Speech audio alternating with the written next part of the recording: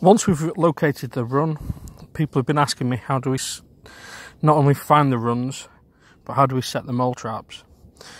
Now, I'm not going to tell you how to find the runs because, well, I'm not going to tell you how to do my business really. But uh, this one here is quite a well run, well used run. There's a three way, and we all like a good three way, don't we?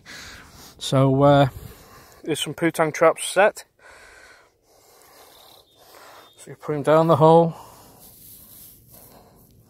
and in, making sure, careful not to catch it to set it off accidentally, which I'm sure will happen whilst I'm doing this video because why wouldn't it? that's the third, second one in. Here's the third one going in the back. Oh, I've just noticed a bit of grass. That little bit of grass that was at the bottom of the mole trap, uh, mole in the mole run, is enough to disturb the mole and tell him that there's something wrong, and he'll backfill every single my mole traps. So uh, we don't want any grass in there. So.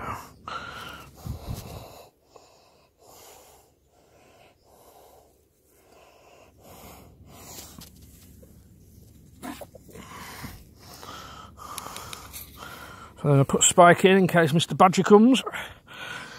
And that, once I have put the sod back on and put air spank around,